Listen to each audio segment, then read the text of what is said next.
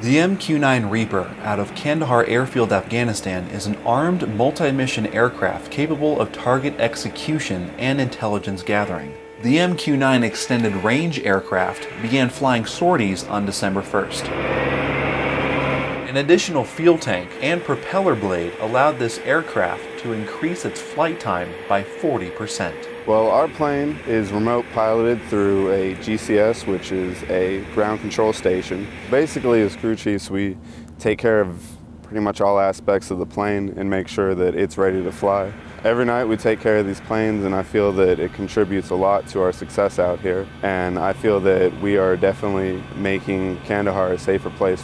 Between crew chiefs, avionics, weapons, and communication systems, this aircraft requires a lot of people to work together to ensure mission success?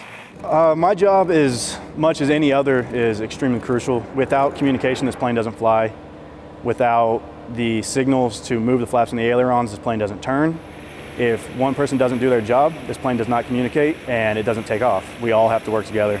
The MQ-9 aircraft has the ability to take out designated enemy targets and protect our ground troops, whether it's soldiers, marines, or airmen outside the wire. It's one of my proudest things uh, since I've been uh, MQ-9 pilot is helping my brothers and sisters in arms. Being able to hopefully, you know, if I can help save their life or help their movement, makes me the happiest. It's one of the things I'm most prideful in that I am able to do. It's the best part of our job, actually. Senior Airman Timothy Kirchner, Kandahar Airfield, Afghanistan.